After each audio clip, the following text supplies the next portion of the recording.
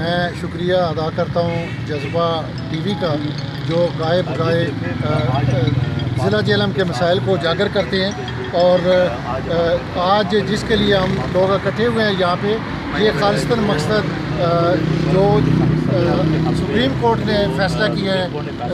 سابق صدر پرویز مشرف کا، تو ہم اس کی سخت مزامت کرتے ہیں اور ہم حکومت پاکستان سے مطالبہ کرتے ہیں کہ ایسے فیصلوں سے گریز کیا جائے یہ وہ لوگ ہیں، یہ وہ فوجی بہادر جوان ہیں جن کی وجہ سے ہم سوتے ہیں اور وہ سرحدوں کی حفاظت کرتے ہیں۔